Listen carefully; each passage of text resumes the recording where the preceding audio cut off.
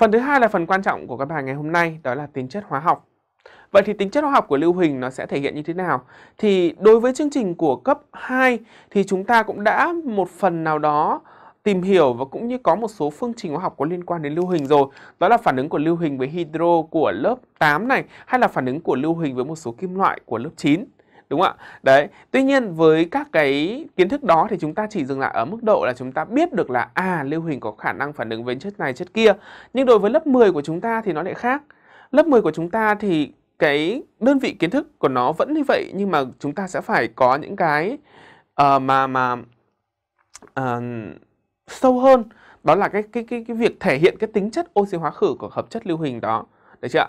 Đấy, thì chúng ta thấy nhá, thứ nhất là cấu hình electron của nguyên tử lưu huỳnh. Thì cái cấu hình E này là cái bài gần như là đầu tiên mà chúng ta học trong chương trình lớp 10. Và với cái bài này thì chúng ta viết được cấu hình electron của lưu huỳnh rồi, đúng nhỉ?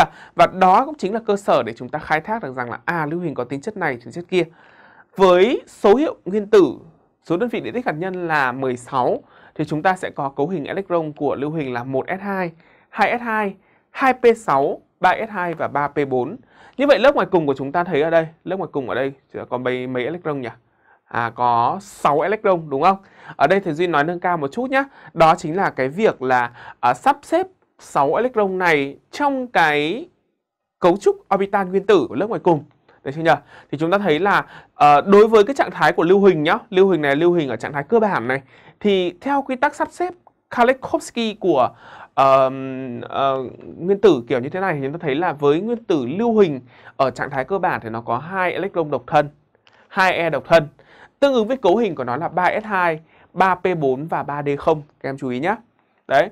Nhưng mà nếu như ở trạng thái kích thích thì nó có thể xảy ra sự uh, nhảy electron. Ví dụ một E ở đây nó hoàn toàn nó nhảy sang phân lớp 3D không này, trở thành 3D1 hay là một electron ở phân lớp 3S2 nhảy nốt sang đây tạo thành 3D2. Đó chính là cái sự giải thích là vì sao lưu hình để có thể có một số trạng thái số oxy hóa như là dương 4 hay là dương 6 các em nhé. Đấy, cái đấy là chúng ta có thể học trong trình nâng cao còn bây giờ chúng ta không cần thiết là phải nhớ đến như vậy đúng không ạ? Nhưng mà thầy một gì muốn giới thiệu ở đây đó chính là uh, các cái trạng thái số oxy hóa có thể tồn tại của lưu hình và đơn chất của nó và cũng như hợp chất của nó. Đó là trừ 2 này, 0, dương 4 và dương 6.